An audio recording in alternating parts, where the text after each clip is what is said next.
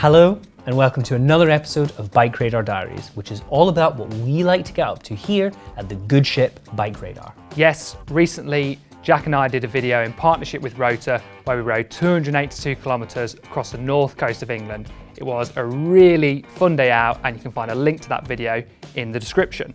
Cream crackers, Joe.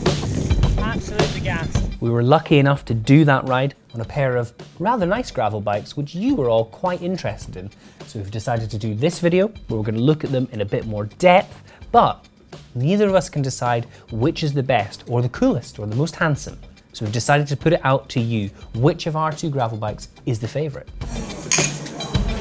I was on an Argon 18 Dark Matter, very nice gravel bike, whereas Jack was on a Specialized Diverge. So as we've already said, we want you to decide whose was the best. We're gonna put a community post up on the BikeRadar channel. And once you've watched this video, you can then decide, vote for it, and whoever loses has to do a forfeit. We haven't decided what that forfeit is yet, but as per usual, it'll probably involve some pain and suffering. So sit back, relax, and cast your eye over our beautiful bicycles before deciding which you think is the best. So, as with any good versus video, we're gonna start with the frames. Jack, put your case forward for your Specialized Diverge. I was on, as Joe said, a Specialized S-Works Diverge, the very top end frame set. I was very lucky enough to get to ride that one. And before we go into any of the interesting tech about the frame, let's be just straight up honest here. My paint job is cooler. In terms of the frame itself, it's made from Specialized top end Fact 11R carbon layup. It has the older version now of the Future Shock, so that's a little kind of suspension unit above the head tube, which gives you a bit of damping in your bars. And then the frame set as well has provisions for all manner of adventuring accessories, including three bottles, mud guards, panniers, those little additional bags you can get the forks. It's a truly adventure ready machine.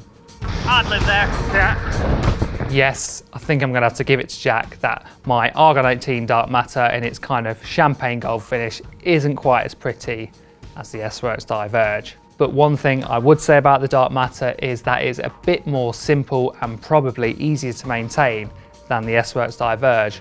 Obviously, it doesn't have the Future Shock. It's just a kind of normal looking carbon gravel frame. And that means if anything goes wrong with it, it's gonna be a bit easier to repair. Another thing I really liked about it is that the head tube in the size 57 I was riding, which is quite a tall bike for me in the uh, Argon 18 Dark Matter sizing, was really tall and that gave me quite a nice upright position on the drops.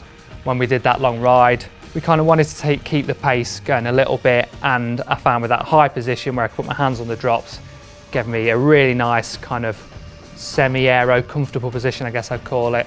And yours probably didn't size out quite as well, did it? No, it's, it's a little bit of a shorter bike overall. The Argon, I mean, you can kind of see it in the photos alone. It's, it's a, a bigger bike overall. So the Special was perhaps just a little bit more compact. I could have perhaps made that a bit better with a longer stem.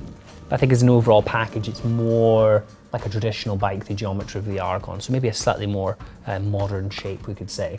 Yeah, and if you were riding kind of hardcore off-road gravel with lots of um, you know bumps and rocks and stuff like that, I think the Future Shock technology would really help you there.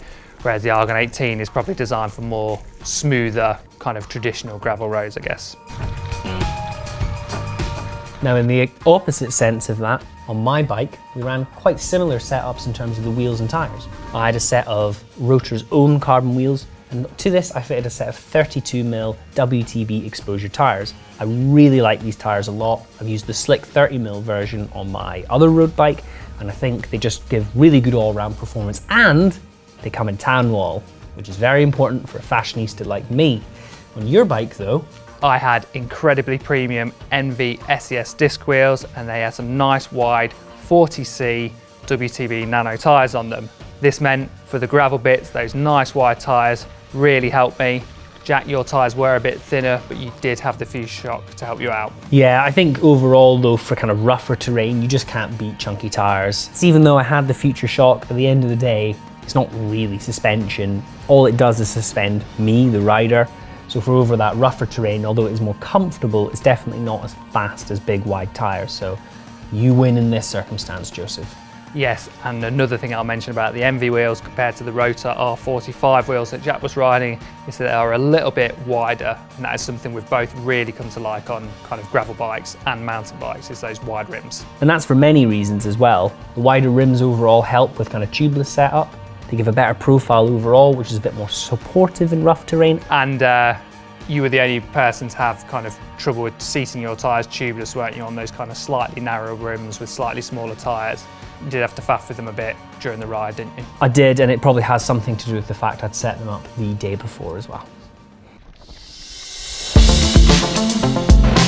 Obviously, Rotor was our sponsor for this video, so naturally we were using its new 1x13 group set. We've done loads of videos about this, you can see all the links to those in the video description, but where we did have a choice was in our gearing. Now, I'm a legend, a hard man, so I went for a 46 tooth chainring, which was paired with a 10 to 39 tooth cassette. So relatively tight spread overall, a little bit closer in the middle of the block. Whereas Joe, I went for a 42 tooth rotor Q-Ring at the front. You had the Q-Ring as well, didn't you? And then a 10 to 46 cassette on the back. So I had a much bigger spread of gears, but kind of less top end speed. Throughout that ride, it was a long ride, not too many big hills. We both had moments where we shone those gearing choices, didn't we? yes, I could have definitely have done without being so much of a hero in a few areas, on the longer climbs, particularly towards the end. But then I guess on the longer, flatter sections, I could kind of skip between gears more closely without affecting my cadence too much. So it's a balancing act. Yeah, I think maybe the, the perfect combination we thought would have been my cassette, so that's the 10 to 46 tooth cassette with the 46 tooth chainring, and that for kind of gravel riding and the slower climbs, but you're still going quite fast on those descents when you get the pedals turning would have been pretty much bob on, wouldn't it? Now, one place we did not have a choice with the bikes was with the brakes. Yes, we both had the Magura disc brakes, which come with the Rotor 1x13 group set, and I think we can both safely say that disc brakes are great. Better.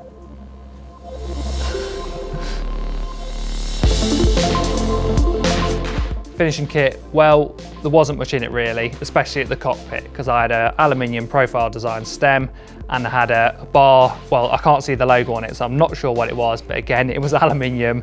It had a nice flat top, which was quite comfortable to grab, whereas you had specialized cockpit. I did, and I'm, you know, the bourgeoisie of the uh, cycling industry, so alloy wasn't good enough for me. So I had a set of specialized compact carbon bars with really nice flat tops. Incidentally, these are 40 centimeter wide bars. I normally go for wider for gravel, but I actually really liked them on the day. So that was a nice little discovery. And then just an alloy specialized stem. And then for the seat post, it was one of Specialized's own Cobble Gobbler or CGR uh, seat posts, which have that funny little elastomer, which are claimed to give you a little bit more compliance in rough terrain. And this paired with that cambium saddle, the Brooks cambium saddle. I love that saddle. I've used it a lot now. The two of those together gave a really, really comfortable kind of uh, seat post saddle combo. So big thumbs up for me there. Jack's uh, saddle and post combo certainly looked quite comfortable. My seat post was just a kind of aluminium model, very standard, very stock, and then had a Fizik Antares saddle, which is very flat. It's more of the kind of saddle you'd see on a road race bike. So I think if I could choose again, I'd probably go for something like the Brooks Cambium. Um, I haven't used it as much as Jack, but yeah, it's a really comfy saddle. It's a bit heavy, but I think for kind of long gravel rides, comfort is more important than out and out speed. So yeah, Jack wins that one. Actually rounding off that rather bougie cockpit was the Silca bar tape that I so happen to have lying about in the office that got fitted to the bike. It is ludicrously expensive stuff. Nice, but unacceptably expensive.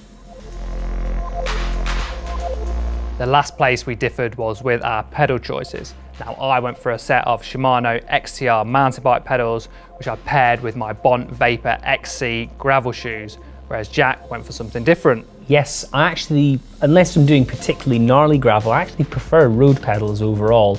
I can't really quite put my finger on it, but I just prefer slightly less float. I find my knees don't suffer quite as bad of that. So I went for a set of Shimano Ultegra pedals, which were paired with a pair of Pearl Izumi kind of lace up road shoes, pretty all round comfy road shoes. And I think it's definitely down to preference in this case rather than a merit of one or the other. Though, if we were on anything more gnarly, I think you would have had the uh, the upper hand. Yeah, obviously with, with mountain bike pedals, you know, they can take a bit more abuse and you can walk in the shoes. Jack could win slightly there because his combo would be slightly lighter. So if you're going for kind of saving all that weight, maybe you're kind of doing a big long gravel race where you know you're not going to be doing any walking, then maybe you choose road shoes. Of course, all of this begs the question where I've gone for a road pedal, you've gone for a mountain bike pedal. When are we going to get a gravel pedal system? It must be around the corner. And finally, any bonus extras that we had on our bikes. Well, I had my now iconic Safety Pizza pizza slice, which you all clearly loved because you made many comments about it in the video, none of them negative at all. And uh, that's my favorite attention seeking accessory of all. And then rounding out my bike was a pair of Silca Sicuro bottle cages. Again, very nice bottle cages, titanium, should last the test of time, but they cost 50 pounds a piece. 50 pounds for a bottle cage, which is just ridiculous. I mean, I'm gonna have them forever, but uh, yeah. Yeah, that is very expensive. I have a set of um, Topeak aluminium bottle cages on an old mountain bike of mine. I've never lost a bottle out of them and they cost four pounds each. Really? Yeah. Right, well, yes, you're a man of the people, Joe. I think it should probably be pretty clear by now, but a lot of kind of building a gravel bike is down to personal preference. So, for example, road pedals versus mountain bike pedals, cockpit widths, cockpit styles, that is all largely down to what works for you. And really the two places it does boil down to is tyres and gearing. They're the two things that we think you can get right or wrong pretty easily on a gravel bike. Yeah, for tyres, definitely something nice and wide, around that 40 mil mark, I think to start with. That worked really well. It was pretty fast on the road sections, so if you're kind of having to do some road riding to get to the gravel you want to ride, that's a nice balance. And for gearing, it is definitely about finding the balance between top end speed and the ability to spin on the climbs. Yeah, you don't want to be on a, you know, some wide, like an, you don't be on an Eagle cassette. You know, you don't want to be just having these bailout gears you use twice in a day. But equally, you don't end up like me and end up standing up in every single climb for the entire length of it. So it definitely comes down to the kind of terrain you ride in, but just don't do what I did. So that is our bikes done and dusted. And now it is up to you folk to decide which one you think is the best. Is it Jack's Specialized Diverge or is it my Argon 18 Dark Matter? As I've already said, there'll be a community post on the BikeRadar YouTube channel, so get voting now.